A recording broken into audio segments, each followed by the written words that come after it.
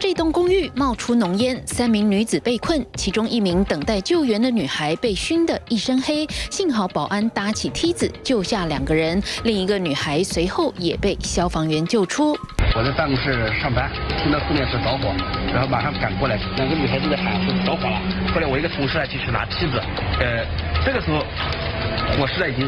浓烟滚出来，我们马上上去了。幸好没有人伤亡。起火的原因是一名女子用吹风机吹短裤，吹到一半去洗澡，留着吹风机继续吹，结果吹风机起火，引燃短裤，整个屋子都着火。吹风机到底为什么会引起火灾？消防员拿一个两千五百瓦、没有过热保护功能的吹风机来实验，把毛巾盖住后面的风扇口，不到一分钟，吹风机出现火花，再把吹风机放在。床上用毛巾盖住，不到一分钟，毛巾开始有烧焦的痕迹；不到五分钟，出风口冒出火苗，引燃毛巾和毛毯。然后它这个里面的通风散热受到影响之后，它电热丝就会高温，高温之后呢，长时间持续下去，它就会引燃这个外部的这个覆盖物。